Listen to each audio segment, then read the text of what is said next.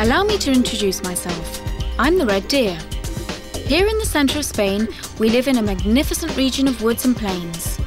The problem is that because of climate change and the ensuing drought, my friends and I don't have much more than skin on our bones.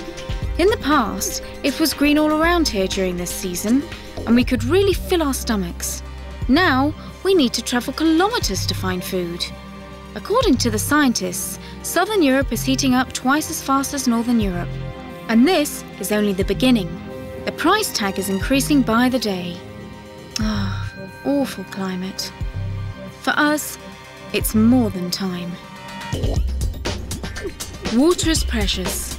Don't leave the taps running. Act now.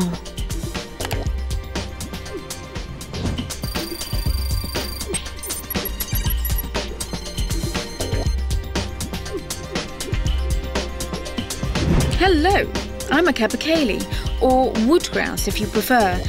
If I may say so, I'm not unhappy with my looks. And you should see me during the bridal parades. Top of the class. The rest of the time, I lead a simple life in the heart of the magnificent landscapes of the Pyrenean forest. But with the climate change over these last years, my mountain is changing. The glaciers are melting, and pretty soon there won't be any. The forest grows ever higher up the slopes, so that the high mountain flora is threatened, and this changes my habitat completely. I'm starting to feel hemmed in. For us, it is more than time.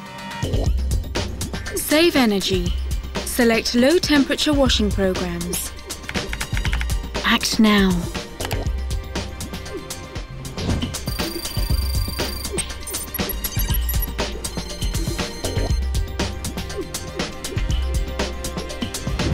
Hello there, my friends. I'm a kingfisher, just in case you didn't recognize me. Where are we? Oh, somewhere in Belgium. Come with me. There's some fish around here. I know the place well. I dive, catch my prey, and swallow it. Always the head first, so that the scales are in the right direction.